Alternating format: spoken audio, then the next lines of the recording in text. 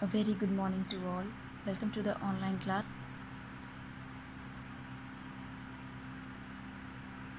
आज हमें literary sources से पढ़ना स्टार्ट करना है literary sources include all the written documents government books records correspondences administrative records etcetera literary sources में रिटन डॉक्यूमेंट्स आते हैं गवर्नमेंट गवर्नमेंट के बुक रिकॉर्ड्स आते हैं और एडमिनिस्ट्रेटिव रिकॉर्ड्स आते हैं, यानी कि उस समय के शासन या शासन, प्रशासनिक जो रिकॉर्ड होते थे वो आते हैं। Official records of the British surveys conducted by the British are also an important record.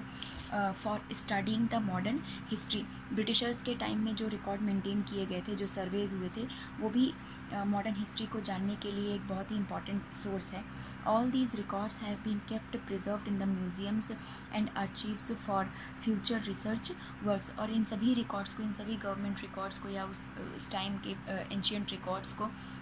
Museums या आर्चीव्स में प्रिजर्व करके या संभाल कर रख दिया जाता है ताकि फ्यूचर में उसके ऊपर रिसर्च हो सके उसके ऊपर काम हो सके लोग उसके बारे में पढ़ सकें या जान सकें। नेक्स्ट गवर्नमेंट रिकॉर्ड्स यानी कि सरकारी रिकॉर्ड्स गवर्नमेंट रिकॉर्ड्स के ज़रिए भी हम उस आ, आ, किसी भी टाइम की हिस्ट्री के बारे में किसी भी टाइम पीरियड के बारे में उस समय के इंसिडेंट्स के बारे में या बहुत सारी चीज़ों के बारे में जान सकते हैं। The very practice of maintaining records of the events and happenings in a systematic manner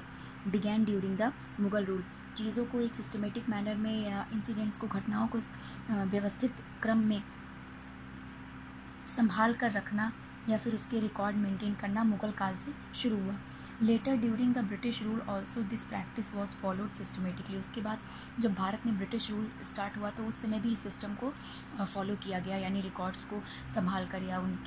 चीज़ों को संभाल कर रखी जाती थी फर्दर इंफॉर्मेशन के लिए ताकि लोगों को उसके बारे में पता चलता रहे। Records of every such official decisions, meetings, conclusions reached by administrative and other senior authorities have been kept preserved. उस समय जो भी ऑफिशियल डिसीजंस लिए जाते थे या भी जो भी मीटिंग्स जो भी सम्मेलन जो सभाएँ होती थी उन सब के रिकॉर्ड्स को संभाल कर रखा जाता था।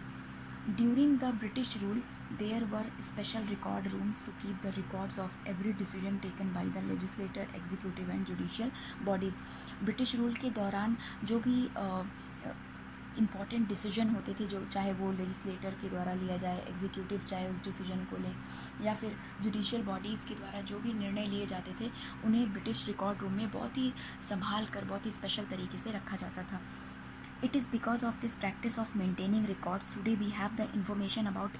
every big और small proceeding of the government departments उस समय ये जो सारे रिकॉर्ड्स रिकॉर्ड्स को, ये सारी इंफॉर्मेशन को संभाल कर रखा गया, वही नतीजा है कि आज हम सारी चीज़ों के बारे में पूरी तरह से हमें पूरी डिटेल में सारी जानकारी उस समय के बारे में भी है।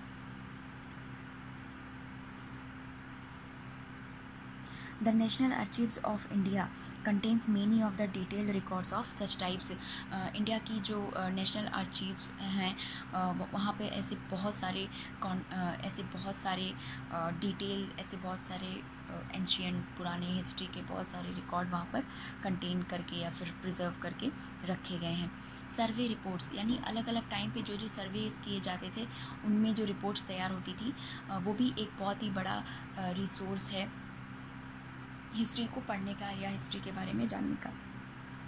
The British conducted many surveys to know about the people geographical features and even the social infrastructure Britishers जो थे, वो बहुत सारे